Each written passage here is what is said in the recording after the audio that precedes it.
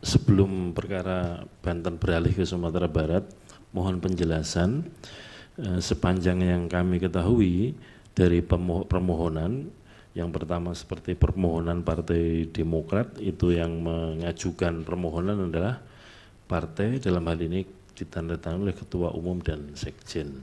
Kemudian P3 juga demikian ditandai Ketua Umum dan Sekjen. Namun perkara 135, 101, 64, 95, 84, 77 dan 70 sepengetahuan kami tidak ada eh, apa Baik, namanya? Terserah Bapak nanti merespon itu kok sampaikan. Baik. Kami mohon penjelasan Ya, itu sebetulnya. kan satu kesatuan dengan penilaian mak- mahkamah dan juga eh, masing-masing punya j- jawaban dan keterangan nanti. Itu kan maksudnya Pak?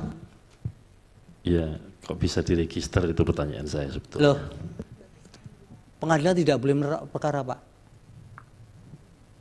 Jangan mempersoalkan bisa diregister. Izin majelis. Ya.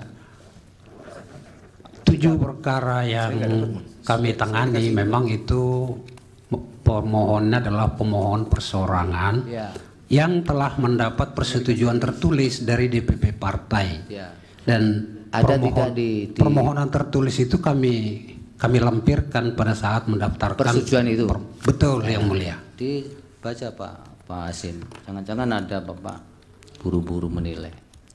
Menyalahkan MK lagi. Kok perkara lagi didaftar gimana sih?